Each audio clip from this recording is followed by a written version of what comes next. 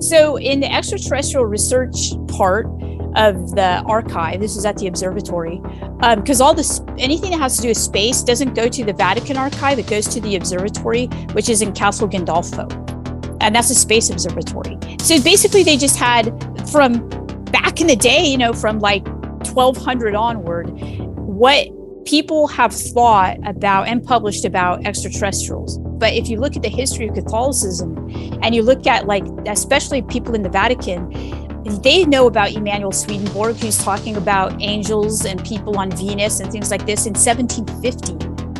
Right? In 1750, there was a best selling book called Life on Other Planets. There was a best selling book called Life on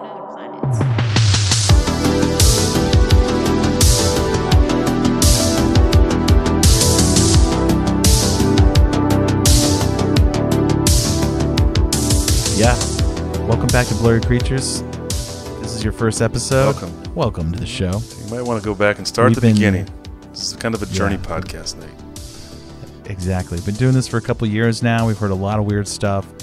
Our paradigms have been smashed and put back together several times. Uh, just when you think you know what you're talking about, or you think you understand what's going on, you hear a story or you hear another smart person come on and blow it up again. So, those of you who have been around since episode one, thank you. Thanks for being on the ride with us. We know how you feel because we're right there with you, Yeah. right? Just one is true. Yeah. Blows the whole paradigm. Well, look at you using the Yeah, intro. you know, you have to. Every once in a while. I, Yeah. I prefer I prefer just to quote Judd Judd if I really want to do it, but um, Yeah. that's the most fun. But we were just talking, Luke and I were just talking off air a little bit about just how blown away we are with the response of the podcast, uh, just how it's been charting, people buying merch, people be supporting the podcast, and just going places in the public and people stopping us and saying nice things. And it's a podcast. You don't ever think, you never know. We're just having conversations and we're putting it out there. We don't realize, realize like, oh, you know, this is this is wild. This is this is something that seems to be needed. A lot of people need to have these weird conversations, so we're happy to have have them for you. right. And with you. And, uh, yeah. Sometimes with you as well. You. But I, you know, I want to say this, Luke. That a lot of people feel alone. A lot of people message us and say, you know, I'm thankful for you guys because I felt alone my whole life, and it's. I'm just thankful for your friendship, Luke, because we can have these conversations together and we don't think each other is crazy. And I sometimes I understand how they feel, but then other times I'm like, I'm, I feel lucky that I have a lot of friends in my life who don't who don't think this stuff is crazy, who and and we can have conversations about it. But a lot of people they tune into the podcast, they have nobody to talk to. Maybe even their spouse doesn't even believe in any of this stuff. And so We're grateful for you being here, though, and you're welcome here. Yeah. And I truly believe there is a quickening. I think that people are waking up. You know, like we always say, like this. This is we're just a couple guys that ask questions. We don't have PhDs behind our names, but we we're looking Mhm. for better answers. Most of all, we say this almost every episode, Nate. We we want people to think for themselves. So digest the, the, the things the experts we bring on that have spent the research time and, and decide for yourself think for yourself. That's what makes Yeah. free speech great. That's what this country was founded on. That's what made this country made this country great was that you had a free exchange of ideas and you could let the cream rise to the top. And that's you know i think in some ways it's kind of what we're doing. We want to have a platform where we can talk about things and and then ruminate and and marinate. Age in the fine the fine whiskey barrel. that's right. You you believe he's out there now, huh? Just one of those people's right. He's out there. You know, it's I, listen. Exactly. I mean, we've come a long way since Bigfoot, but we need to. all we know Yeah. our we know what our core competency is, and so we we, we, we have to talk about the big guy. Uh, we're Yeah. grateful to all our members. If you if you want extra content, you can join uh, join up, become a member. There are extra episodes, exclusive episodes. There are exclusive groups, Facebook, Discord, Telegram groups you can join and, and continue discussion about episodes and everything blurry. Um, we also Yeah. have merchandise if you like. Nate's a pretty talented, creative dude, and, and we've got some fun T-shirts. All that goes to support the podcast and, and us doing more of the more blurry things and more of this. So thank you to our members. Um, if you're interested, check out our webpage. Where Nate? blurrycreatures.com slash members or slash merch. Yeah, we also have a link to uh, our official Spotify playlist for all the music we Hey. put on the show and and a guest suggestion sheet. And we're gonna be doing more for you know all the members on the show. We're coming out with ideas every day. Right. We got a lot of ideas. Yeah, but you guys have been awesome. Thank you for all the messages. Sorry we don't get back to a lot of them. Um, lately, it's just been a ton, and we're trying to I have a, I have a Yeah. newborn. New dads, old newborn. dads. Yeah, Yeah, new dads, old Yeah. dads is a good way to put it. We're flying by the seat of our pants. And I thank you guys for supporting the show, putting food on the putting food on my family's table, and helping uh, this show get produced. And uh, it's become so much bigger than we ever imagined, and we can't say thank you enough. And I actually put Ephesians six on my wall in here when I'm podcasting now because how crazy the show's gotten. I gotta like stare at it, you know, put on the armor because it feels like this stuff's just. It's not only is it real, but it's coming at you and in, in a way that I've never thought possible. So, those who are love all praying. you guys. Thank you for praying for us. And um, yeah, yeah, we're grateful for this community. And yeah. let's let's bring on Dr. Diana Pasulka. Yeah, we have Dr. Diana Pasulka today. She's coming on the show. She wrote a book called American Cosmic Academic, who talks about the blurry things in our world, which, you know, we always love those people who are bold in their field to talk talk about the truth and, and not be afraid to have a bunch of pushback. Because, I mean, just the pushback we get sometimes, I'm like, gosh, I can't imagine being in like an academic field and all the stuff they get. It's bold. You got to be bold to speak out, you know. And there's a lot of people getting put in jail these days if they speak out the truth. So, you At know, least Facebook jail. uh, Doug Van Dorn goes more to than Facebook, Facebook jail. jail. Doug, we love you. yeah, yeah. But I mean, literal jail. Some of these doctors who speak out, they're going, they're getting locked up, you know. And it's crazy, just false accusations and all kinds of stuff. So, yeah, you guys are awesome. Thanks for supporting the podcast. Thanks, BlurryCreatures.com. Thanks, Matt Marr. Thanks, out. Matt Marr, for for the suggestion and for recommending Diana. We need a show roller. yeah, we do. You're now entering the blurry Blurryverse.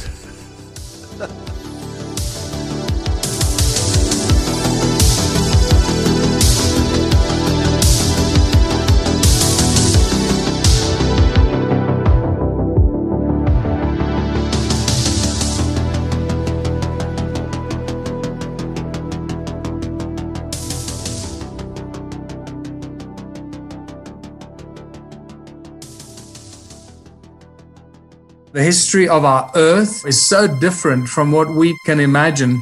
Enjoy the journey. the Smithsonian, that if they found out about a large skeleton somewhere, was to go get it. I'm going to assume at least one person is right because if one person's right, it busts the paradigm. It all goes back to the fallen cherub. And the problem with the modern day church, they have a very truncated view of the supernatural. this backdrop that's just pregnant with all kinds of meaning associated with this Mount Hermon event. Welcome to Blurry Creatures. and this guy defects from the kingdom. That's a big deal.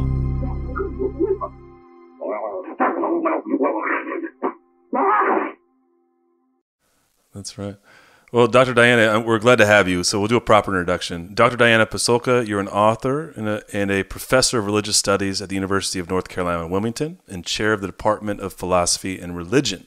We wanted to have you on because you wrote a book called American Cosmic, which is UFOs, religion, and technology. Really picked our interest because, and in talking to you before we started recording, uh, you're you're also a Christian and and we found out you didn't believe really in, in any of this stuff when you started researching it, which I think is a, is, is a fascinating journey. I think with all of that, I would love to ask you about that journey from, you know, a religious studies professor to you know to this book. Like you know how, how did how did that process happen, and how did you end up writing a book on on on UFO? Yeah, and you you and my sister are both Davis alumni, so shout out. Wow, that is so cool. there, uh, Davis uh, is uh, one of my favorite places. Riding around on bicycles, and um, there's a great religious studies program there, which I had taken classes in, and philosophy too. Uh, okay, Wait, and I'm a Chico State guy, so that we're rivals at one point. now you Oh, guys yeah, are D one. right. Okay. Yeah, that's right. Wow. I'm Cal Poly. I'm Bigfoot on the Oh surfboard. my gosh! All right. So a bunch of California educated right. kids. We're all That's right. brainwashed, Yeah. right? Is Yeah, to some that's right. Extent. got out of Yeah. the brainwashing, I think, is how it works. Yeah, Baby, hopefully. Okay. The Southerners are going to say, "Oh no, this is too much." yeah right. right? Yeah, right. There's too much NorCal That's here in the that's South. oh, okay. So I had I had an idea to do what I'm doing now when I was 11. So I wanted Hmm. to. I was a um, a kid who was who had a feeling of being religious, like being Christian, when I was young. And so what I did was I read the Bible basically when I was about 11. And it was the King James version, which is not a Catholic version of the Bible, but it's a it's a Protestant version of the Bible with it's a red letter edition. Mm-hmm. And so I would mm. focus on Jesus's words in the Bible.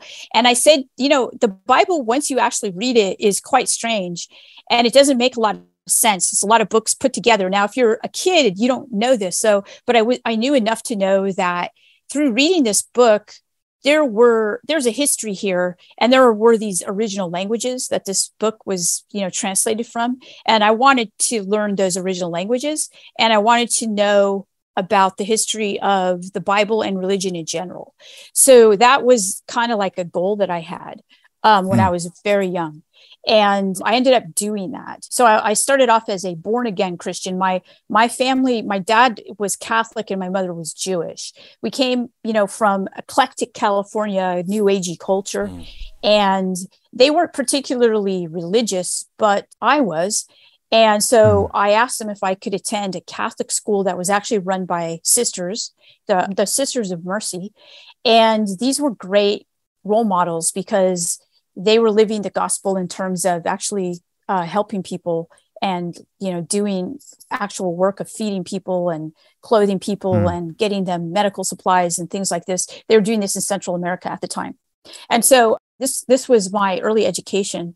And so i decided to now i grew up you know what it was like in the 90s uh, in california was the dot-com boom so it was really mm-hmm. easy to get a job doing really anything tech related and make decent money so i mm-hmm. did that and that kind of kept me off my route of going to you know school for religious studies for a while.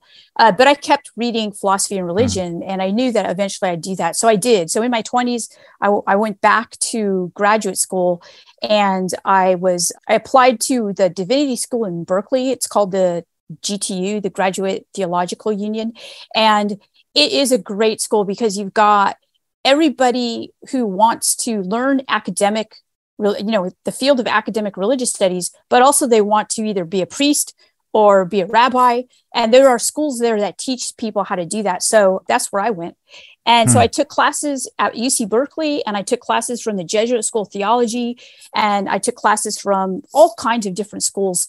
And i learned a lot about religious studies which is different than theology. So people hmm. ask me you know are you a minister or what do you do? No i teach academic i teach the basically that comparative religion or the history of religions. So we learned every I learned about every sort of religion. So I teach classes on Hinduism, Buddhism, Islam, Muslim, you know, uh, Christianity. I teach Christianity to people who are Christians and have not ever read the Bible, by the way.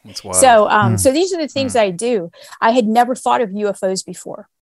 So, how did mm. that happen? So, um, what happened was that I've you know, when you start, when you're in an academic program, it kind of distances you from things like miracles and the reality of, of religious people and how religious people have experiences that are, that they could call miraculous. Yeah, supernatural stuff, right? Yeah. Exactly. Yeah. Totally supernatural stuff.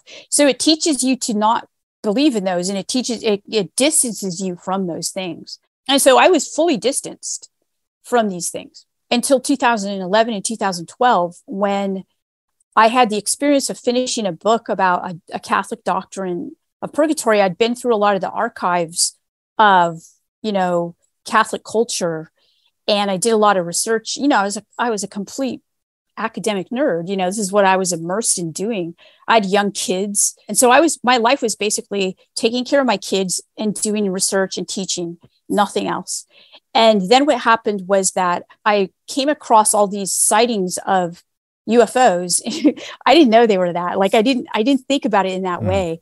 But I I saw from like 1100 onward to like up until the present that European and North American and Canadian Catholics were basically identified these flying objects in the sky, but they were interpreting them as different types of things. And so I had a kind of like a breakthrough weekend where I mm. had this and and I was done with this one book and I said I'm I don't know what to do with all this stuff. I had kept a log of these sightings like here's an example of of one of them. A sighting that this nun had, it was this in the 1800s, and she kept seeing these orbs come through her celled, you know, uh, basically she was in a, a cell, right? Like that's what nuns lived in, these convents.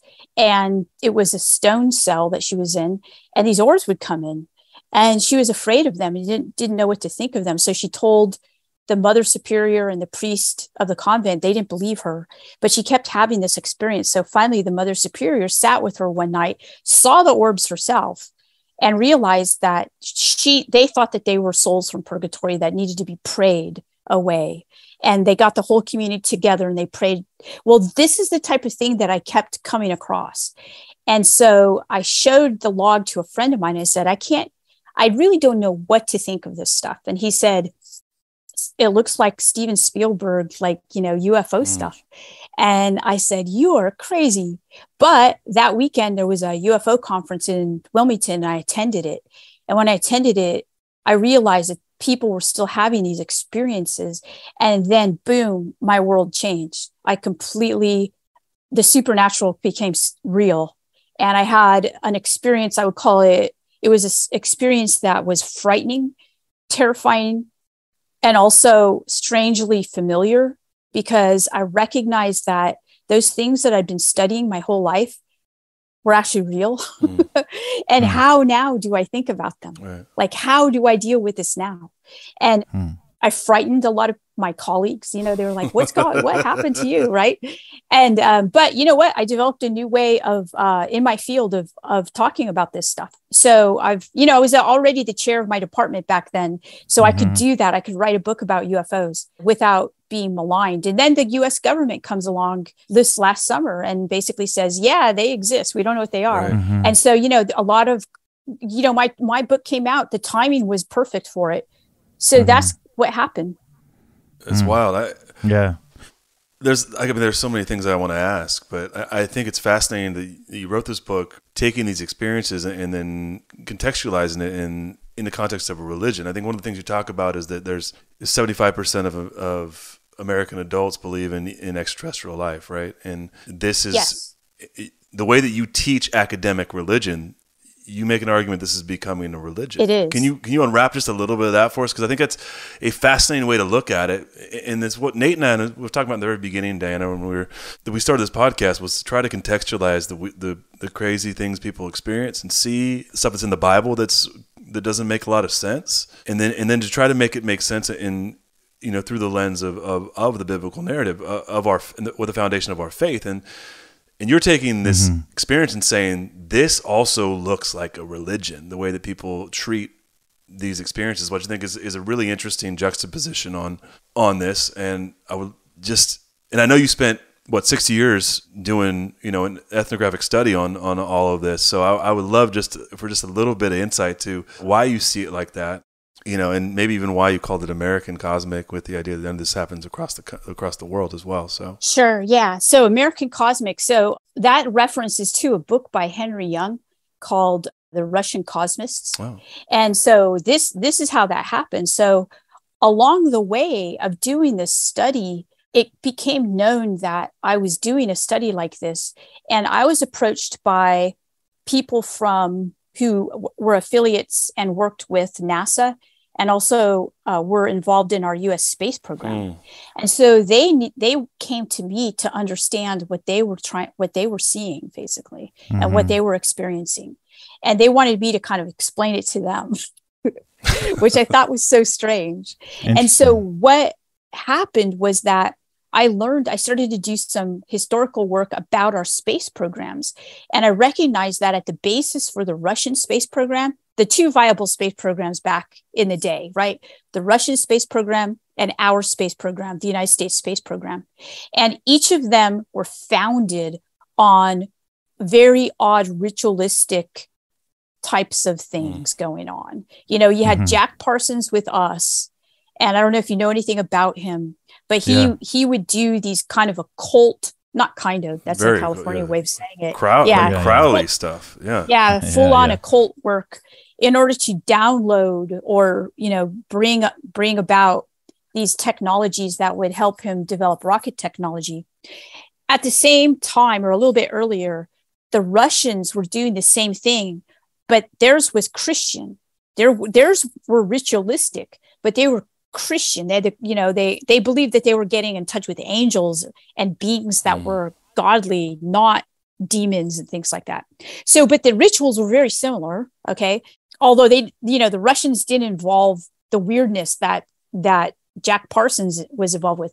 But for a person who studies religion, they were rituals, and most people don't ascribe science with rituals and they don't ascribe our space program in particular. They want it to be completely nuts and bolts you know and no paranormal stuff. Mm. but i'm sorry at the basis of both of those you know developments were ritualistic paranormal activities that kept going on.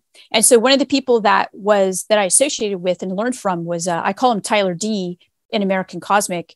He was basically kind of like a, an, in the tradition of jack parsons but without the crowley stuff because he was christian. But the space program the american i just did a talk on this actually. The american space program is steeped especially when it does these certain launches down in cape canaveral. They have they have to do it at certain times. They have to do it certain people have to stand in certain places. They have these patches that look you know in special clothing that they use. I mean it's it's ritualistic. And so Hmm. um so that's why i called it american cosmic because i wanted to to identify this this tradition that we are completely as Americans unfamiliar with. We don't even know about it. And in fact, if you Mhm. ask people in NASA today about Jack Parsons, they don't want to know. They're like, I don't let's not talk about that. That's the that's what I got back when I was doing this research. It's interesting too, Nate, because the, the other thing is von Braun, right, was a Nazi. Yeah. So oh, you have yeah, these, yeah. and they, you know how the Nazis were so That's right, very much yeah. focused on the occult and trying to harness. I mean, they had they built rooms and and castles, and they had they were. I mean, they were practicing black magic. I mean, they were doing satanic Mm-hmm. type things, and then Yeah. you have one of those people.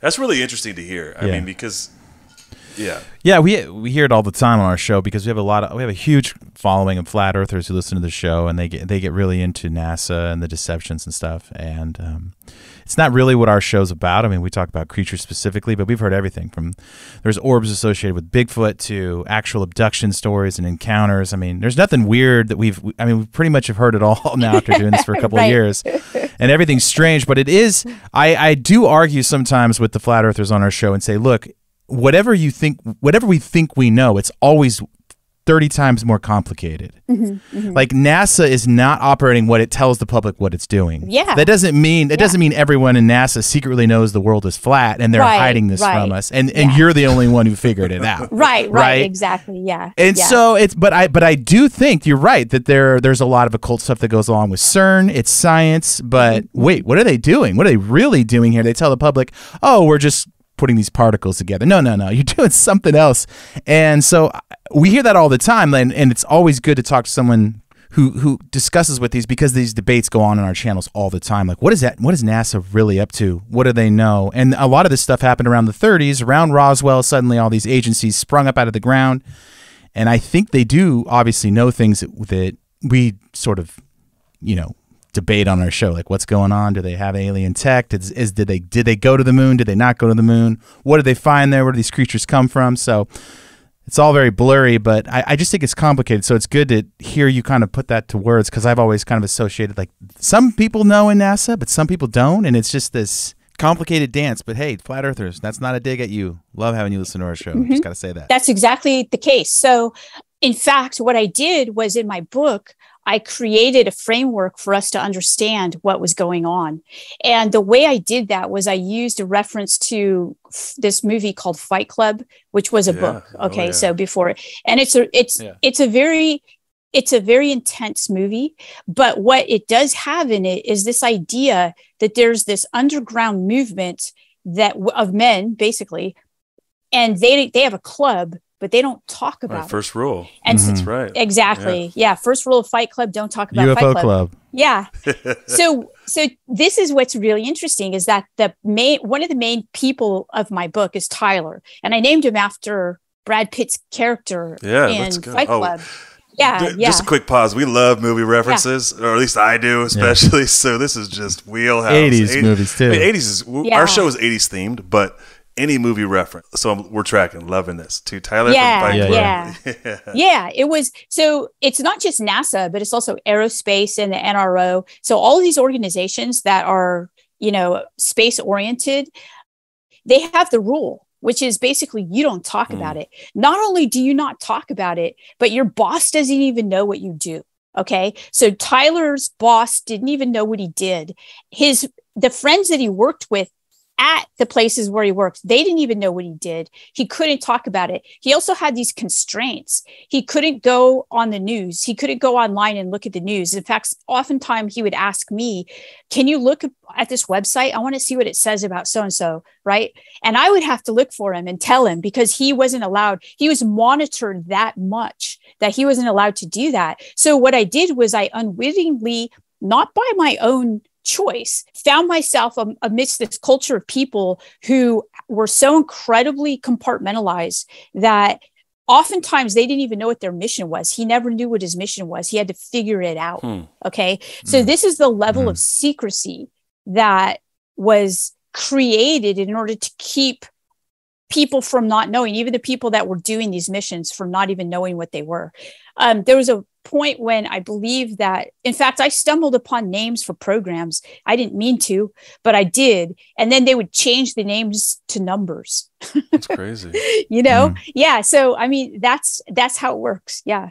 It's very strange. Yeah, and then people peop, people get mad because like Bob Lazar, you know, ta- basically said this and went public with it, and they're all like, "Well, there's no record of him doing this and that," and I'm like, "What? You don't think they could make?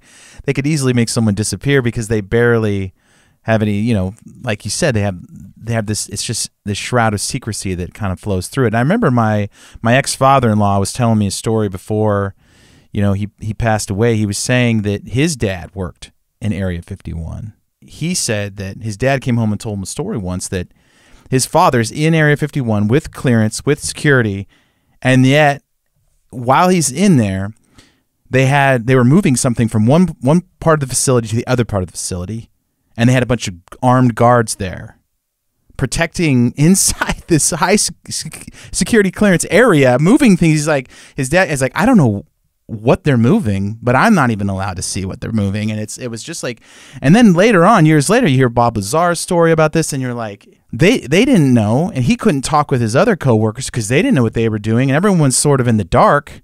And then skeptics will listen to our show and be like, ah, these people are all liars and this isn't true. And I'm like, well, it makes a lot of sense when you hear that, you know, a lot of people don't know what's going on. And I wonder if that's because if, if they find someone that they don't like, they can just get rid of them real quick and, and they don't have to deal with it or they're just afraid of it yeah getting out. i think i think that it was a it was a really genius plan to do this because then if you want to keep a secret also they don't write you know people especially in the communities of ufo people people who are uf- Yeah. ufologists they really focus on textual things like things that are written down by clearance people and things like that well i i promise you that they're not writing these things down so they have communities of oral tradition, and we call it oral tradition, where they Mm. pass their information to each other in word, and they call it. There's a word for it called pencils up, where you know, okay, this meeting's pencils up, which means you don't nothing, right?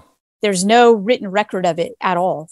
And so, I mean, it's a genius way to keep this type of thing quiet. Another strange thing, though, that happened was that the man who I called Tyler, I showed him everything I was going to write about him, by the way. It was cleared with everybody in my book. They read their chapter and they wrote off on it and said, Yeah, it looks good.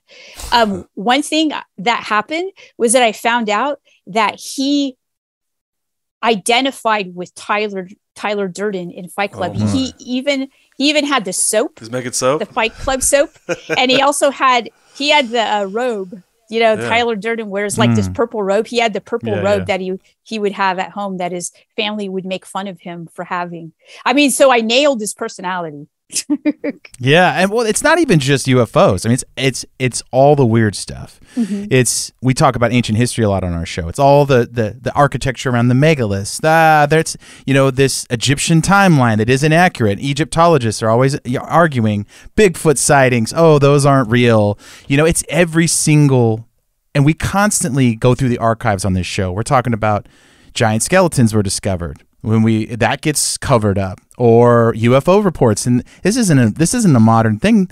You can go back in news archives and read about these things. And Bigfoot sightings go back a long time too. So it's just constantly shrouded in conspiracy theory. Nobody wants to look at it but it is cool that a lot of you know doctors and educated people do come on our show. And every once in a while the right personality who's actually applying the scientific method will come on and say look at the evidence. It's right here. You have to apply it. But it a lot of people are afraid. I guess they're afraid of like Jeff Meldrum, who's like the Bigfoot guy. You know, he said all his colleagues would make fun of him all the time. Mm-hmm. He was constantly being ridiculed because he's like, "Look, I have actual evidence. I know what a, I know what a real footprint looks like. This is not a human footprint. I can.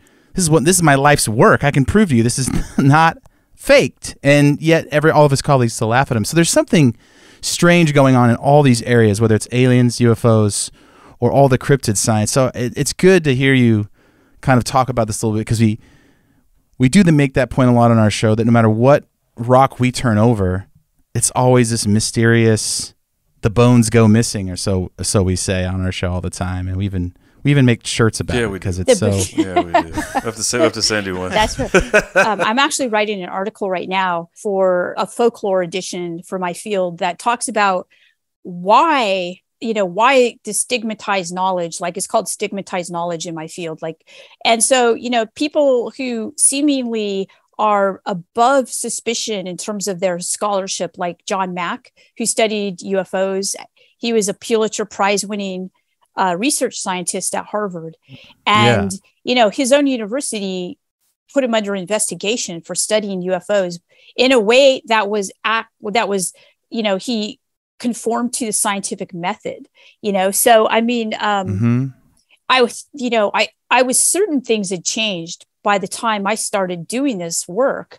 And this was you know in 2012 on up and then my book was published in 2019 uh, but when i would when i would be asked by usually grad students to speak at their universities a lot of my colleagues would be horrified by what i was talking about. And they were sure that i had been misled by people who were not actually who they said they were. Well, I knew who they were yeah. was actually accurate, right? One of those people is Garry Nolan from Stanford University. He's James in my book, but I couldn't say so at the time because the government hadn't yet come out. But then when the disclosures of UFOs started happening, you know, now those people want to write about UFOs and, you know, and so I just think that that's disingenuous, you know, because they didn't follow the data then. How are they going to follow the data now? Yeah. yeah. No, that actually has it kind of piggybacks on the question I want to ask you about all this because uh, it, your book, like you said, your book is timely, right? In 2019. Yes. And yeah. now we have, we talked about before, we have the government. They're holding meetings now. Congress is have is is holding holding meetings about UAPs. They're now talking about it, and they even renamed the whole thing to to destigmatize yes. it, right? But yeah. do you mm-hmm. think that we are in the middle of another like so. It- Copernican sort of revolution where where we're sort of reorienting because because we have this new th- we have this thing that people have been talking about for a long time, but now it's being talked about in the mainstream narrative. You think that we're in a bit of a revolution in in the same way that like Copernicus in his in his revelations changed the way people thought about Earth and man and where we where we sit. Do you think the things happening right now and we're kind of in the midst of this? Yeah, so I do think that, okay, so first, the Copernicus analogy is really good, right? And I actually did use that in a proposal that I was, you know, putting together uh, for a book that I'm writing right now. But after assessing it, I also see that we're in a, a completely different era in terms of our infrastructure. So, you know, when Protestantism and Catholicism split, it was in, it was because of technology. It was because of the gutenberg press right? So the printing press allowed people to read the bible on their own without it you know being in the hands of priests and such. Right now what's happening this disclosure is not is not on the time frame of those who are disclosing. It's on the time frame of the people because right now you have other space programs. You have a chinese space program and you have other countries that are putting things up into space and they're beginning to see what's up there. And so we can't they're not going to keep the lid on all these things that are flying around. And by the way once people see these things that are flying around their worldview is open so that they can see other things too okay? So they see that reality is not what we've been told it is. Reality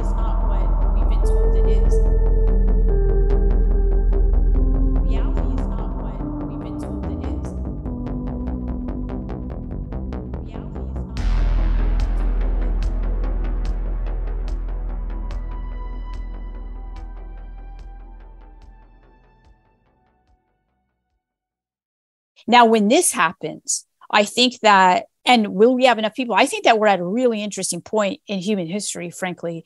And I can't predict what's going to happen, but I can tell you that that people have been here before. And if you look pre-Christian, even to like Plato and Plato's Republic, and you know the cave, the allegory of the cave, yeah. where people are like, "Hey, you know, when Jesus was killed by Rome, a lot of his followers called him this called him Socrates. They said, you know, you're like Socrates from back in the day, you know, you were killed by your government for trying to get people to see what is real, right? And so I think that we're in that kind of place right now and I think that we're we're getting a lot of narrative framing and we need to be aware of that and but I don't think with that honestly, I don't have a lot of hope that I think that communities like yours and communities, you know, that I feel like I might be a part of are we can help each other to identify the BS, right? right. And the mm-hmm. the framing that, you know, no, this is how it is kind of thing. And we're like, no, that's not how it is. Um, we have brains, you know, we can figure it out. But a lot of people will just go for the bread and circuses instead. And we and we can't fight that because technology, this is a good part of my book actually, is phys- physiologically addictive. So, you know, when you have like, you know, TikTok or something like that, and I see this the changes in students because I'm a professor. So the people I see are 20 year olds. And I see 20 year olds from 10 years ago, 20 year olds from 20 years ago, and 20 years uh, 20 year olds today.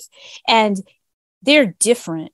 And the reason they're different is because they have this thing that they're like sucked into and they're addicted to it and it is changing their behaviors and everything. So, mm. um, yeah, I think it's a scary time to tell you the truth.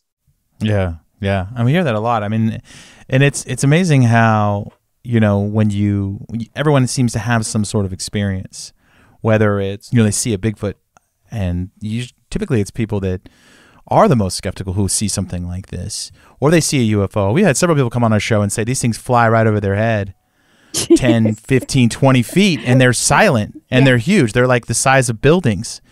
And they're doctors. You know, we had a doctor come on and tell us his, his experience. And, and I think that for the most part is that more and more of these things are happening. Bigfoot mm-hmm. seems to be the most sighted of the creatures. Mm-hmm. But the UFO phenomenon is ramping up more and more and more people are seeing this. And so eventually, you know, they've got to get to, on top of the story is, mm-hmm. is mm-hmm. kind of the narrative that we hear a lot is that it, the because of the cell phones, because of the TikTok videos, because of all these things, more and more is coming out every single day, and eventually it's going to be undeniable, and sort of this fake history that we've all been taught. Someone's got to tell us, you know, the new fake history, I guess you could say, like the, the aliens seeded us on this planet, you know, and they're the ones who did it all. And it, it kind of feels like we're we're being built up to something like that, some sort of ultimate reveal, some sort of close encounter where it, it finally happens and everyone can see it.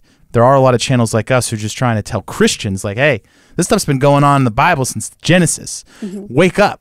you know, it's mm-hmm. it's right there in the pages. The weird stuff happened. We had encounters with with angelic realms. They came in, they messed with us, they gave us technology, and it's like it's crazy how many people just don't know this. They've been going to church their whole life and they're like, man, you know, like we bring on a doctor. He talks about Genesis six and some of the weird, weirder passages of scripture, and then all of a sudden they're like, "I'm in. I get it. It makes sense. You know, it's not hard." And so, what do you think was the moment for you when you were you you weren't a skeptic anymore? You be, you believed. Mm-hmm. You knew something was going on. Something changed. Like you sort of had your epiphany. Yeah. I guess. Yeah.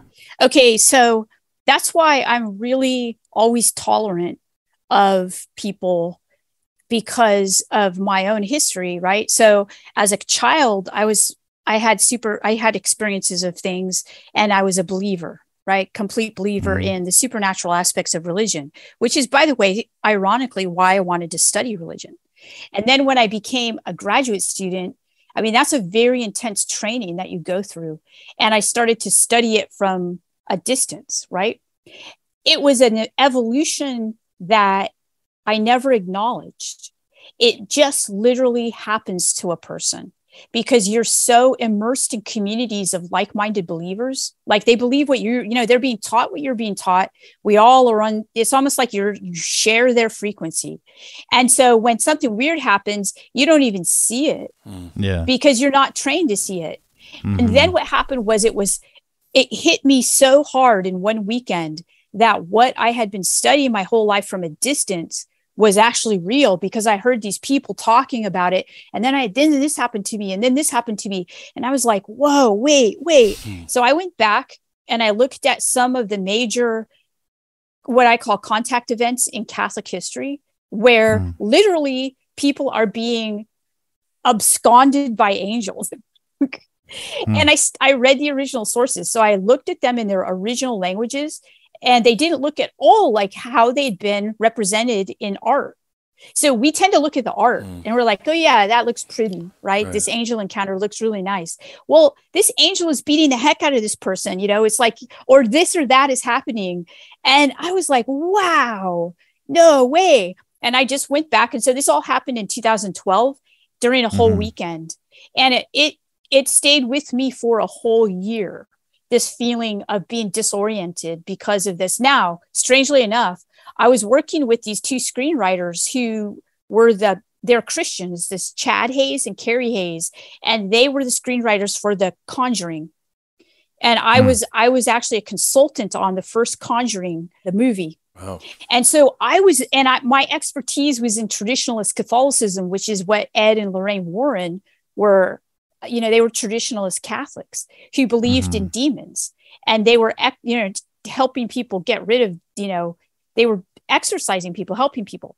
And so those guys who were from California, and I felt like kind of like akin to them, they were identical twins and they were like Christian and they really wanted the conjuring to, to come out with a very intense supernatural message. And in fact, if you look at the last, you know, the quote that Ed Warren says in the last, in the conjuring, the first conjuring, the last scene, you know, it's real you know it's real the supernatural is real and evil mm-hmm. is real okay so so they were with me that whole time they lived in wilmington doing the filming for the conjuring and so mm-hmm. i had them to basically they wanted to know because they could tell something was going on and they said what's going on with you you know are you going through some kind of like research spiritual thing? And I said, Yes, I am actually. And I told him about the UFOs. And I said, I've become convinced about this and it's changed my whole worldview. And so, mm. so that's they some they helped me through, you know, we helped each other actually, because then I showed them what I was doing and I introduced them to some of the people. And so this was my year. It wasn't a moment, it was a whole year in 2012 of waking back up to the reason why I studied religion. That's basically what mm. it hmm. was. Was it? Mm. Was there any any moments where you getting outside of that, like you felt like maybe it challenged your conventional beliefs, that where you yes. where your where your faith, yes. where you like maybe question your faith, and then how did you how did you sort of I never that? okay so I never questioned my faith. It made me more faithful, in mm. fact. But what it did do is it scared me a lot. And there was mm-hmm. a point where I said, I'm not going to do this because I perceived so much darkness, mm-hmm. like so much darkness. I went to a, I went to a conference and this conference now in retrospect was, it was a, a conference with CIA. It had some CIA oh, affiliations. Oh yeah. And the people there, you know, there were people who believed they were hybrids and things like that and everything like that. I wasn't that it wasn't that it was the ideas in the conference that were so challenging to me. And this sounds very strange but i'm just going to tell you how it felt. I felt the dark i felt darkness. It mm. wasn't that the, the ideas were dark. I literally felt it. And after that i said i'm not going to do this anymore. This is very bad. It's very mm-hmm. negative. And then um, you're amongst you're got, amongst friends here. That that doesn't that doesn't surprise us too at all. Yeah, it was like yeah. harsh. It was like this is really negative stuff, and I'm I don't want to bring that into my life. But I was a, so there were there were enough good people who who kind of are in my position who are doing kind of similar things that they kind of helped me come back to why this is important to do right now mm. and why and in fact, I get a, I was harassed. I get a lot of harassment. I've, you know, mm. a lot of times I, uh, Garry and I both were harassed and we reported this to, he, he reported it to the Stanford police, you know, university police, and I reported it to my university police. I'm meeting with a, uh, detective this week, tomorrow, in fact, about it. So it's not like you can just go out there and do this research and not and think that oh yeah, it's going to be all fun. It's not. It's um, I don't know why people are doing this, but I do know that if they're doing it, there's a reason for it. There's you know so. I, I have a follow up question to that because it's something Yeah. I wanted because I think this actually fits into that. But you talked about all the aerospace stuff, right, and, and the space programs and, and the ritualistic bases on that. In your mm-hmm. research, do you believe that those institutions or people within those institutions believe that they are getting information from ETs or or you know what we would assume to be maybe like even demonic stuff Yeah. like they are Yeah. because there's there's that thought too that like and I know that's something that you talked about with Tyler was that he believed that he had this extraterrestrial Mm-hmm. knowledge downloaded to him and when I hear that to me it sounds like oh you're kind of accessing the spiritual realm and of course this this is not a new thing this is as old as Solomon said nothing's new under the sun but Yeah. the fact that some of these things are based on ritual it just got me thinking like how much did you run into that where either the technology or the ideas and and and the the idea technology as well was was coming from somewhere else like or I mean I, I don't know I'm just that, that just was something that like, yeah, yeah. well i think this is an ongoing question okay? Um definitely many people that i met who were within those programs that we talked about believe that they were in touch with et presences Mm. just like constantine constantine tsiolkovsky from russia believed that he was but he thought that they were angelic um jack parsons did but Yeah. he thought that they he didn't know what the heck they were Right, right. frankly and but they looked pretty evil to me like i thought Mm. his whole program was pretty twisted it's Yeah. Babalon workings right it was all it was really like gnarly mystery school satanic stuff Oh, Yeah, it de- yeah. it definitely was, but it, I, it was efficacious in the sense that it definitely got us off of uh, Earth into space. You know, it did work. I guess is you know for better or worse, I suppose. But um, sounds a lot like yeah, sounds so a lot like Gen Six though. Sounds a lot like the trading of technology and ideas for, in that case, women. Right? It's the idea that there there's this transfer of knowledge. You know, if you ascribe or, or you you look into the into Enoch, right, and you talk, which is you know just a big exposition on on Genesis six. There's the idea that all of the Watchers taught humans how to cut roots and practice magic. It was all technology. It was learning the father of of, of hus- animal husbandry and all you know all these things that all of a sudden you have the explosion of technology. So that's what I hear in in this space too. Is like that yeah. they're tapping it. That they're getting they're getting knowledge from somewhere Yes. else. So, I mean, yeah, in the introduction to my book, I basically said that there's a myth of Prometheus, right? Which is the giver of technology to humans. Mm. And he's kind of an, he gets punished for it by the gods, right? So he's not a god, he's a half god. And he's a, a titan. And he's like this, you know, he's the one who gives technology to humans. So it's not a, it's a, it's a myth that's been around, but it's no longer mythological when we get into my book you know it appears Yeah. to be a reality is what i was trying to say was that how do i talk about this academically when the people that i'm interviewing believe that they're getting technology literally from you know et or some external source. And i there were various ways of doing that. One was to talk about creativity and what that does and that possibly makes your brain think that you're actually getting it from an external source, but you're actually in a certain state of vibration in your brain. So, you know, there's lots of different, there are different framework, not lots, but there are different frameworks for looking at this. And a lot of people go with the literal framework of, you know, this is a living myth. This is not a myth, actually. This is real kind of thing, like Tyler does mm-hmm. in my book. Mm-hmm. And a lot of the scientists do. They're more literally minded than people in the humanities, I guess. Okay, but we let's get back to this idea of feeling that the darkness of this. So, you know, when you look at Wernher von Braun, right, and you look at his how he created his technologies, we have to acknowledge that he had a concentration camp, you know, Yeah. where people there were more people who were killed in the creation of his technologies than actually by the weapons that came out of his technologies. I mm. mean, could anything good come from that kind of creation? You know, where people are Sounds literally slaves. Sounds like a ritual too. Like you, you're, it's the letting of blood. It's it's a sacrifice. So It, in a macro form, it's a sac- it's a human sacrifice, right? It's which is really crazy to think about. It's absolutely true. Yeah. So again, in in my field, we talk about ritual studies, and there is uh, Rene Girard. Is I don't know if you know the work of Rene Girard, but he basically makes the case that you know religion came up, especially he's Christians, he's Catholic, and he basically said that Christianity is the religion that recognized that all human progression seemed to happen from sacrifices from you know ritual sacrifices. And he said christianity was the one that basically said let's make this the last sacrifice. Let's make jesus the last sacrifice.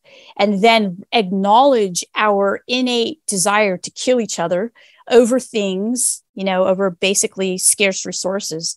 Yeah i, I mean i i you know did did the space program i don't know. That's a lot of stuff that you'd have to like look into yeah. Mm-hmm. but i can say that all of that stuff is quite disturbing you know and that these are the kinds of things that i worked with when i was writing that book. And i ended in a pretty negative like i, I wouldn't say i was optimistic at the end of that book. In fact yeah. i ended it with uh, martin heidegger's idea that only a god can save us now. Yeah. Yeah. Well yeah. Luke and i talk a lot of off show about how dark it gets on our show. Just people coming on and sharing their stories, and then it's funny. We, we were we were talking in the day about man, the last couple episodes have been dark, and then we get an email from one of the our recurring guests who says that she has somebody who's been came out of the occult was was was a satanic ritual abuse survivor and wants to come on the show but we have to disguise her voice and all this different stuff. And it's like wow. it, we were just talking about this, Luke. I was just telling Nate. I was like, email. I can't do any more, any more yeah. heavy episodes for a while because it's just it's a. I mean, it's a lot. It is. It's it's it's heavy. You know, in yeah. the art of war, you yeah. need to know your enemy, and so part of of us being Christians in, in understanding the gospel is understanding that we're also at war.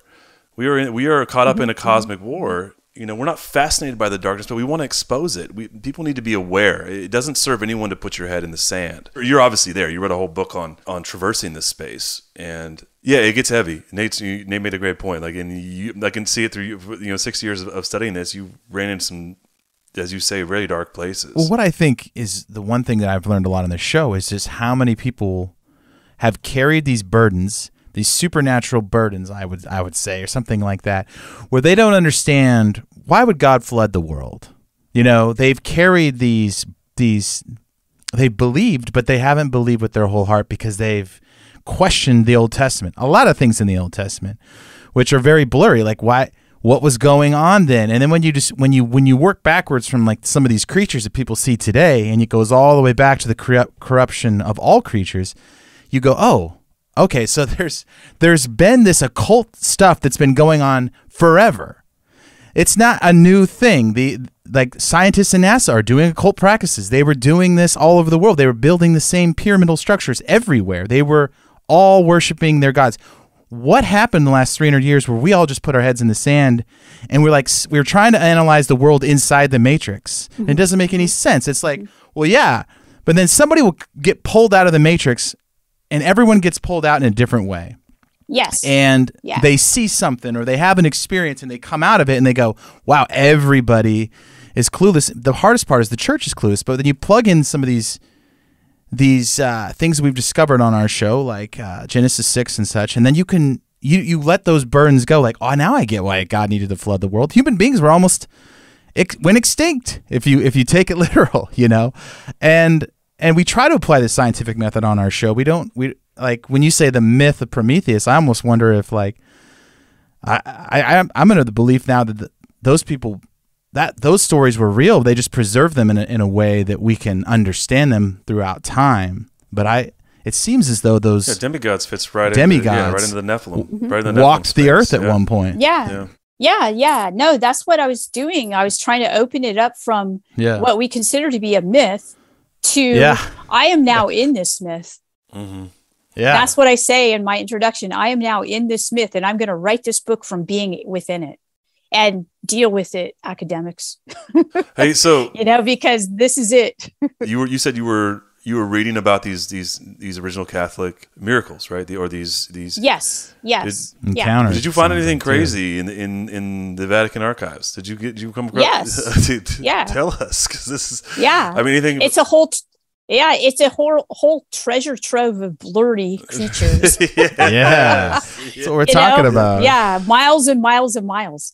So I saw. I mean, there were so many things. I we were there to do specific study of um, Joseph of Copertino, who is a saint who is said to have flown around, right, levitated, and a lot of um, UFO abductions have levitation aspects to them, right? People are levitating up and doing this. Um, I posted on my Twitter account a picture of people going into purgatory and it literally looks like a flying saucer beaming people up into it right so i wanted Hmm. people to see that these images were are so similar and these representations are similar the interpretations are just different. You know they called them souls from purgatory then we call them ufos now kinds of things like that right? In the vatican archive we came across a lot of things. We came across a, a woman who's called the woman uh, in blue. She lived in the 1600s in Spain, and she believed that she was being taken by angels, kind of flown up above Earth into space, where she could see the spinning Earth, and she described it, and taken to what she called the New World, which was basically New Mexico and around that this the Southwest, Hmm. Arizona, all these areas, and she was put down, and then she actually interacted with uh, indigenous tribes there. Wow. And in fact, the, uh, one of the uh, leaders, uh, the chief of that indigenous tribe, just called me the other day, and I have to return his phone call because he said, "Come on, tell me about the lady in blue. Like we really Hmm. want to know because they have statues of her, and their whole oral tradition goes back to this time period. Uh, so there were missionaries from Spain who."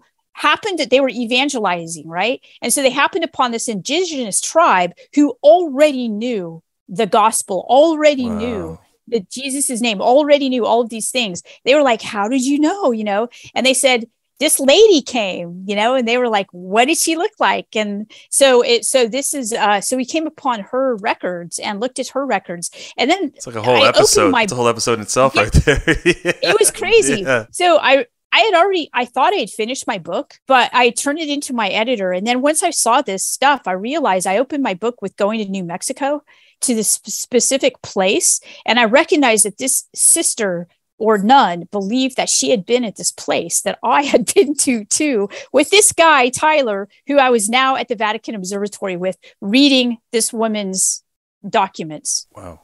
Hmm. It was pretty weird. And That's crazy. And so, I mean, how much of that stuff is under lock and key, though? Oh yeah, you have to have special credentials to get in.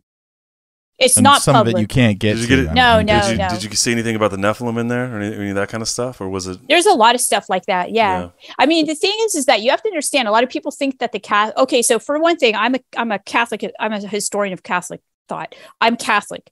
I was let in because that's what I do, and I have a PhD. You have to go through a whole series of checkpoints in order to get in. Okay.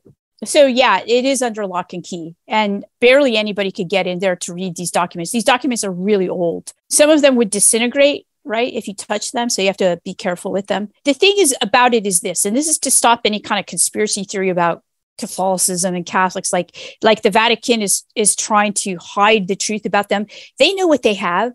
Um, they know that they're weird. They look at it within their theological worldview that this these beings existed or exist, and that's okay.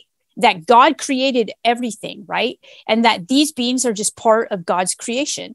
And they don't view them as like, you know, that they're trying to keep the world from knowing about, you know, these beings, these you know the thing is is that those the pe- the catholics right now at the vatican are doing their hardest right now their darndest to basically digitize those documents because those documents are basically going away They're disin- like they're they're really disintegrating disappearing, you for real, yeah. yeah they really are yeah What do the Vatican think about? Uh, what do they What do they think about your your project? Did you get any any resistance to talking about UFOs and then writing a book about UFOs? No, no, Interesting. not at all. No. I have a lot of friends at the Vatican, and a colleague is Brother Guy Consolmagno, who's the director of the Vatican Observatory. In fact, we were given quarters at the Vatican Observatory to stay. Um, so we lived in those quarters for like a week Wow. to do our research. We were given lattes, and I mean, it's pretty awesome. I actually lost a, an original Kepler, an original book Oh by my Kepler. gosh. Yeah. So we- they were, they basically look, they probably changed the rules after I was They're there like- because I went there and I'm like, they they go, oh, yeah, just look at whatever you want, you know. And I was like, are you sure? And they're like, okay. So I did. I looked at everything. I'm like, okay, they have a whole Hmm. wall of of something that's called um, extraterrestrial research, research Wow. into extraterrestrials. And I was like, I'm starting here. And so, you know, you go through the whole thing. Every single day we'd wake up and we'd go in there and we wouldn't leave except for like a latte, right? Right. Or like, you know, or lunch That's or something like that This is wild. and we go right back. It was awesome. And we go right back and we do the study again. And so I kept a lot of the books out. One of them was Kepler, you know, and for some reason, this was really fascinating to me because he was talking about magnetism and a lot of these kinds of things. And um, sadly, I misplaced that book. And so when I got back to the United States, I got a frantic email from Brother Guy and he said, do you know where the Kepler is? You know, it's priceless, It's right? And I'm like, oh gosh. It's in your carry-on. Wow. no, I actually remembered, believe it or not, where I put it. I said, yes, I do, I do. And um, they probably, like I said, changed the rules after that. I felt So what really about- bad about it. So what? did- I mean, what did you read in there? Because I mean, it's difficult because I feel like something that we talk about on our show a lot, and it gets heated in our channels. It's just like every institution is compromised somewhere. Every institution. It's not just like, oh, this institution's good, this institution's bad. It's just like there's there's good cop, bad cop, and everything. Yes. And so it's hard to identify because, like, some of the things you said earlier in the episode, and that's a whole nother rabbit hole. It's just like when spiritual entities appear to you and tell you something, and there's a lot of historical accounts. I mean, how do you know which team they're on? You know, and you don't, and you don't know. It's not that we don't believe it exists. It's just how do you not be deceived? Yes, And yeah. so, but in terms of the Vatican, we've never really talked to anybody who's been inside of it, and we know they have answers. But there's got to be some people in there that are probably not wanting certain things to get out. I mean, it can't be Yeah, like okay, hundred so- percent across yeah. the board. Everyone's Well, there's a lot of people who playing. who are angry at, at the Catholics in the Vatican for good reasons. You know, I mean the the you know the priestly pedophile thing, all that kind of stuff, terrible, right? And the whole, you know, they, it's been around for a long time. The Vatican was the Roman Empire. I mean, it became the the you know Roman Catholic Empire. I mean, it's like uh, when you go through Rome and you look at the and you go into the Vatican and you go through their museum and everything, you basically see a history of colonization and war. And that wasn't pretty for me to watch or see, you know. It was a lot of carnage, okay, and you know, taking of other cultures' stuff. Um, so yeah, so we're talking about an empire, not just a religion. Okay, so I talked to uh, Peter Gumpel, who some of your listeners should check out. He's super interesting. He is in his 90s and he was he was supposed to be a cardinal, but he didn't want to be because he enjoyed being he was a Jesuit and lives in the Vatican. And basically he is he reminded me of Tyler because he had several he had rules that were very much like Tyler's where he couldn't go online, he doesn't have email, he couldn't see the news. You know, he had to keep his his own worldview separate from the world's because you have to understand that they're taking their faith seriously. Christians are in, but of, but not of the world. Right. So, Mhm. right. So that's where, that's how they live. They believe that they're in the world, but they're not part of the world, right? The Mhm. world lives with different values than like Father Gumpel. Now, does that mean that everyone at the Vatican is like that? No. There's like such corrupt people there, but he wasn't one of them. And Yeah. um, so, you know, I I did my best to find those people and to talk to them. And he was a papal advisor to the last how many popes, you know, as long as he's been 30 years old. He was almost killed by Hitler. His nephew was killed by Hitler. His mother was almost killed by Hitler. He intervened to to save her. So, you know, he's like he knows so much history.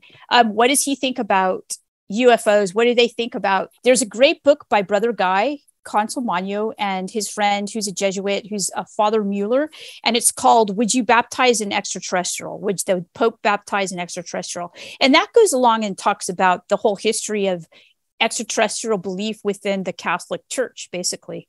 So to them, it's not as big a deal as it is to people in the United States Hmm. because people have been talking about extraterrestrials in religions for a very long period of time, right? Just like you all say. Right.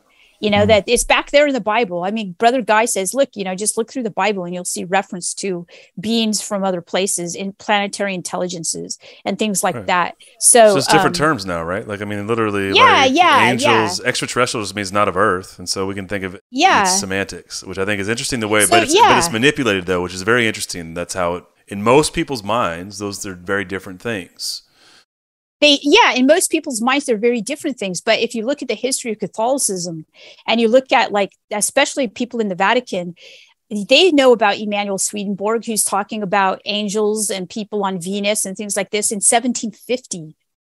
Right in 1750, th- there was a best-selling book called "Life on Other Planets." Wow. Well, it's just like it's like the whole. It's I think that's why there's so Hmm. much traction with ancient alien theory is that it just takes all of that and puts it in an alien bucket, and then just says, "Oh Right, yeah, aliens right, did this. exactly, aliens yeah. came here. Yeah. Aliens did that." And it's like, well, if you describe to a biblical worldview, that's not that's not how you would interpret it. Like it would be No, no, no. So the Vatican doesn't, this is what they don't want. They don't want, and this has happened in the ufology community a lot. A lot of people who are what I would call UFO influencers, they're not necessarily researchers, but they're influencers. And they they like to talk about the Vatican a lot. And they say, we're going to go to the Vatican and we're going to bust open, you know, this thing. Well, guess what? They're not, they're on the outskirts of the Vatican. Like anybody who's been in the Vatican knows you can't just go into the Vatican. The guards are different. Like, you know how the guards look really nice on the outside? They are the Mhm. Swiss guards, right? They have special uniforms and everything. When you get Mhm. in the Vatican, they're actually scary as heck. I mean, these people have Yeah. like machine guns and they're wearing full fatigues, and you don't Mhm. go anywhere unless you have you're with someone in the Vatican. It's wild. Like Yeah, I was I- like, you know, I was terrified of these guys. Yeah, I, I was lucky to go there. I went there and went to St. Peter's and, and went around, went to the Sistine Look Chapel, and it was definitely Look at you, just so it- well it- traveled. It, was no, I mean it was uh, it was an experience. I just remember being like, well, there was a lot of people there trying to trying to sell you something. They were Yeah, trying to convince you. They're trying to sell you tickets to something that was free. That's what I noticed right away. Is everyone's trying to Yeah. like, wait a minute, that's free. I know that's free, buddy. Uh, it's difficult. It was just, but everything's so amazingly old. I think that is sometimes on our show. Obviously, yeah, the Vatican does get. It, it sort of gets just everything's blamed on the Vatican. Why is it in here? It's it's at the Vatican, and I do think that, like I said earlier, there's just there's so many people that have infiltrated all these systems and they all have their own agenda and it's you can't it's not there's nothing is easy. Nothing mm-hmm. is as easy as a lot of the people listen to our show. It's it's this easy. It's just this one deception. I'm like no it's not. It's very complicated. Satan's not going to like leave any crumb trail if he doesn't have to. And I just can't get. I just can't get past Nate that there's a whole wall. That, Diana, that you said that Yeah, it's I was gonna ask her that. You're like, dude, this Yeah. is insane. what what yeah give us a little rundown what are some of the talking points of that what are, what are some of the Look at the blue, Yeah, blue oh, lady. yeah, you yeah. Okay. that. Yeah, yeah. So in the extraterrestrial research uh, part of the archive, this is at the observatory, because all this anything that has to do with space doesn't go to the Vatican archive; it goes to the observatory, which is in Castel Gandolfo, Hmm. and that's a space observatory. And so, um, so basically, they just had from back in the day, you know, from like 1200 onward, what people have thought about and published about extraterrestrials. And so when they get when you get into the 70s and when you get like the 60s and the 70s and the 80s, it just took off and it got super interesting. And I could, I didn't have enough time to go through everything. But what I noticed was that the terminology changed. So when you, and this is another way to do archival research is that you don't just look at what's in there, you look at how things are categorized all right and if and if there's a shift in the way things are categorized you know that something happened so i wasn't there long enough to figure this out but i did have tyler with me and tyler was part of the us space program so he was able to fill in some of these blanks but what i found was that when they got to the 80s and certain space missions they stopped they were actually funding programs that were in search of intelligent extraterrestrial life right like SETI. but Yeah. yeah. But after that, they stopped funding that and they started to cert they did microbiology. Like they wanted to, to find like, you know, traces of biological things. Like They- bacteria were no longer- meteors and stuff. Yeah, Yeah, they yeah. yeah. they weren't looking for it. They took out intelligence. And I hmm. was like, why did they do that? That was after the Apollo, one of the Apollo missions. And so that's what Tyler looked at me and said, think about that. Yeah. Hmm. Maybe they got their question answered. Yeah. Yeah. So the funding and the funding for the research changed. Absolutely. Yeah. But they tell you, you know, these these things you can't talk about, or you had free access to write about whatever you you found. uh, there were certain times when I was told to not talk about c- certain things and in no uncertain terms, basically like Sounds like Fight. Club. There's a whole I- Fight Club thing going on here, right? You Yeah. don't talk about it. Right. And I would I didn't. And then what happened was that all of this stuff happened where uh, the government started to talk about it, and all of those things changed, and nobody told me to to not talk about it anymore. So I'm talking about, except for referencing people who want to be anonymous, I'm talking about all kinds of things that I was told not to talk about. And what do you think aliens and UFOs are? I mean, what do you what's your what's your take if you had Yeah, sure. So I think that people have been seeing things in the sky for a very long period of time, as long as humans have existed. It appears that they've been having these experiences. I don't discount these experiences. I believe that people have them. What they are, um, I have a professorly view and then I have a personal view, and I separate those so my university won't, you know, so I can say this has nothing to do with my colleagues, Right, right? right, right. Or disc- my graduate disclaimer student professors. Yeah, yeah, yeah. I do think that there are, which is very ver- Fight Club. yeah I, i'm not in flight club Right. i'm not tyler Yeah. yeah so i'm just a professor i'm not bound by those rules Right. so i think that uh, there are a variety of these things and i do believe that we can like you know i do believe in these a- angelic presences and i also believe in demonic presences i feel like i felt these before this is me not as a professor Right, talking. Okay, so um, this is just as a human being and being alive and having these experiences. I've always wanted to know what they were about. I feel like I know I have a better understanding of what they're about now. I feel like we make choices in our lives to open us up to various experiences, and I think that I've I know people who've had very bad experiences, either drinking a lot or doing drugs, and feeling these feeling these things, ha- you know, these presences or whatnot and even without those you know. And i feel that i try not to go to places that where ufo activity is identified. I do not call any type i'm not a ce5 person you know a close encounters 5 person. I don't want to be i don't want to hook in with any other you know i i just don't want to do that. I don't want to advocate that to anyone. And i believe that i believe that human beings are made to like we have kind of like a some people would call it a god gene. I think we have a predisposition to want to to know about the spiritual component. Um, you could call it god jesus whatever you're you know right? So i i believe in that and i believe that people if they want can can do that. Um, I also have been studying the protocols that people have done, like monastic communities, communities of monks and nuns, and um, and the ways in which they've cultivated having experiences of uh, peace and love and goodness and things like that. What you would call, you know, God and prayer and contemplative prayer and things like that. So I think that these things are very real. I think some of them perhaps could be extraterrestrial.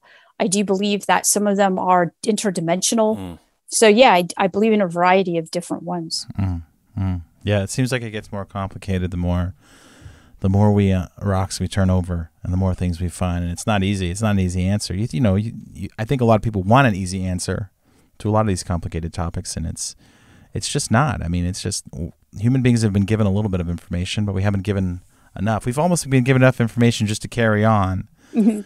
And we're so cu- we're so curious. Yeah, the fact that these sightings do go back and the alien the alien encounters do go back, and I'm surprised as that there have been more academics involved in this topic than I originally thought when we started the show. Mhm. It seems like when you go there, are- there, there are always a few outliers of people who you know apply the scientific method to these blurry topics and and found some interesting stuff.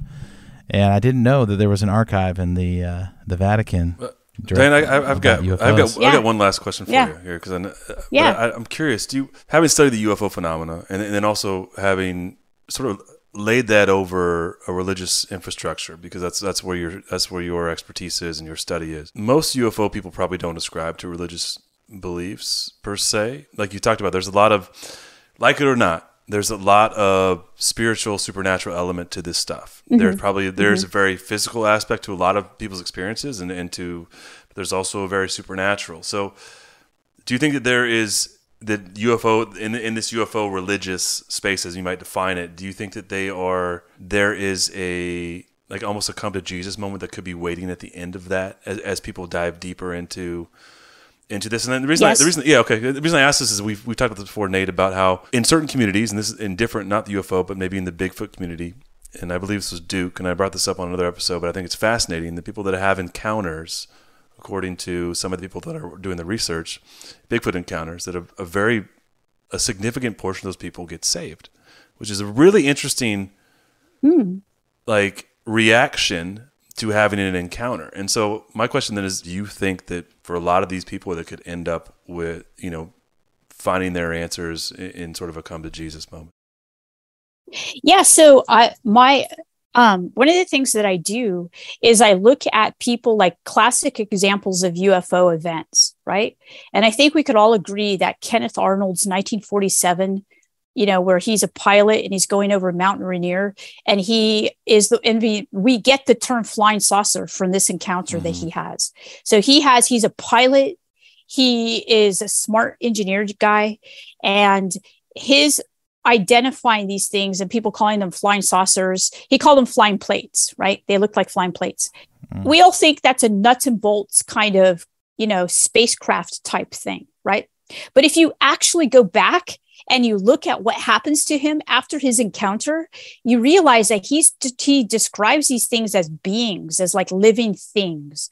He also says that he thinks that they're like Ezekiel's wheel, and he also begins to make these prayer cards. Like any Christian would would know what a prayer card was, right? So he he has the picture of the flying saucer, and on the back of it, he has his philosophy where he identifies this as spiritual and he gives it to anybody who he he meets he says have you heard of this and he gives it to them because he's become evangelical about his spiritual oh, experience of having a ufo so my point is this is that i'm not overlaying a religious framework on UFOs. What I'm doing is I'm looking case by case at UFO events and I'm saying, this looks weirder than you think, everyone. Like, this is hmm. a paranormal event. This is not just a nuts and bolts Mm. craft. You know, you can have all these, you know, pilots in the sky and like, you know, saying, oh, this and that's happening. And we take, and, but, you know, you go to the very first pilot in the sky and he's freaking out because now he's had this experience that leads him back to the Bible. Hmm. And I would I'd love to ask you like my last question is like is there a story in your life where you've had a, like a, a skeptical colleague or someone in your life that has you know you've had a conversation with and they've come full circle? Yes. Yeah. Yeah, you talk and tell about that a little bit.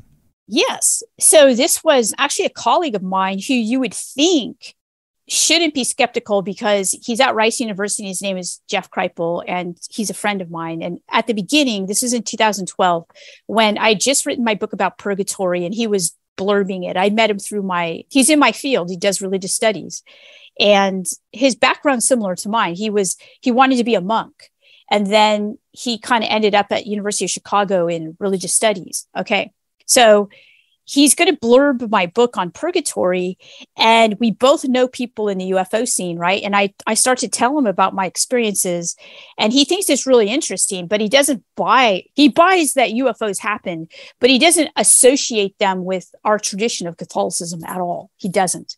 And so i say wait a minute.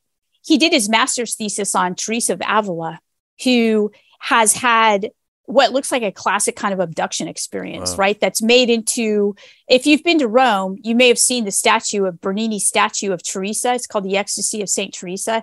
And you see this angel kind of with a dart that's going like this to her. And it looks like a cherub. But if you read the original account, so when I had my experience of that weekend, I looked back at hers and I reread her account of it because she wrote it down in her diary. And I subsequently have published about it.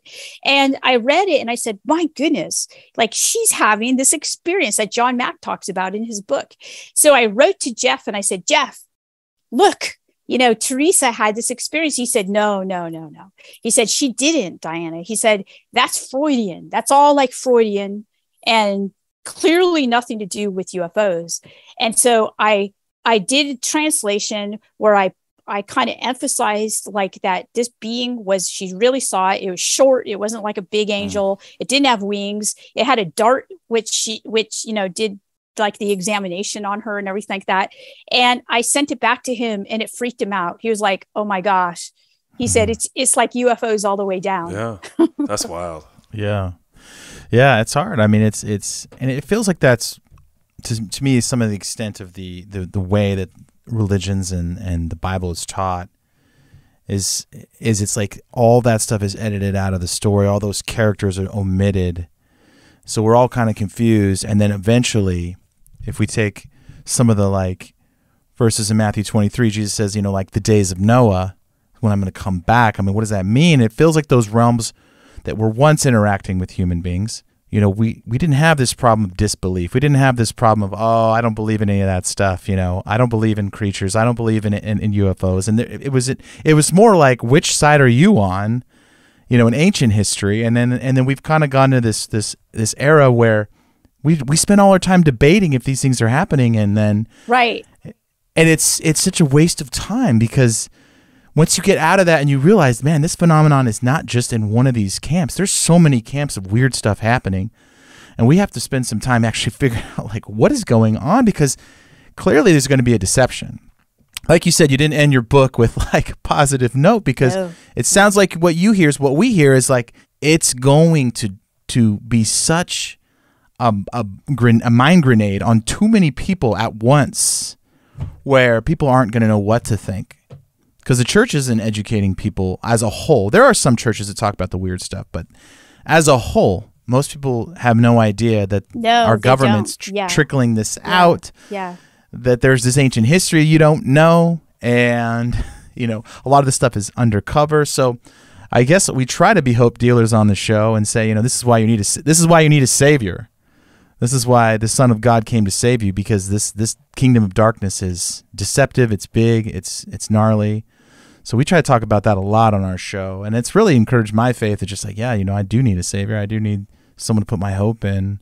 It sounds like some of your colleagues are coming around when you're when you're shooting them over some info. They've come around. Uh, a lot of people. I I was. Um, I honestly thought maybe ten people would read my book, but it seems like it resonates with a lot of people, and people do want to know, and they are wake. There are wake. You know, I hate to use that term, waking up, but yeah, they are waking up to the fact that mm. this that is supernatural.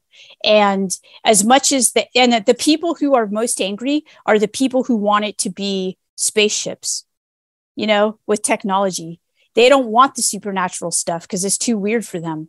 But you know, it's like you have to go where the data takes you. yeah, I mean that's the same thing we thought ten people would listen to our podcast. Yeah, I was about to say the same thing, Nate. We were like, dude, Nate and I are just going to do this because we because we, like- 'cause we like to have a good time and talk to each other. Right. Yeah. But And then yeah, we, we we hit some of these charts, and I'm like, oh no, this is crazy. I don't know if I want it to get any bigger. No, I know. I know that feeling. It's uh, like, we whoa. get trolled. yeah. yeah, a lot of people troll us, and a lot of people from different camps, and everyone has their, you know, like I was saying, I don't pick on the flat earthers, but you know, they love our show and they listen to our show, and they really, really want us to get into these these areas, and we're we're talking creatures, you know, we're that's the fences we put up on this show, and sometimes we get out of those lanes. Mm-hmm. Something like a Bigfoot encounter can bring you can bring your faith full circle. You can, it's almost like it. It's not related, but it is related. It gives you permission to believe all the strange stuff Right. and and I love all the academics who are giving people permission in these spaces. Hey, you can believe the weird stuff. It's everywhere. It's out there. and, and there's right metrics for it. I think that's the other thing that's important, right? Yeah. That's right. Yeah. Yeah. Yeah. Well, Diana, it's been it's been a pleasure. Uh, Yeah. You want to? Yes, it has. Thank you so much. Thanks so much. much. And, and do you want to tell people where they can they can find your work or and the Sure. stuff you're doing? Well, I do have a um an, an Amazon author page, and all my books are there. I have a lot of free stuff that's on Academia Edu, and people can look at that too. Uh, and it talks a lot about how technology and us interface, you know, and what that means for the way that we believe stuff. But yeah, oh, and I have a Twitter account. That's um, I try to stay off of a lot of social media because of Yeah. the the trolling that goes on. You know, it's just Oh, not good for anyone. Oh, negativity. Um, but I d- yeah.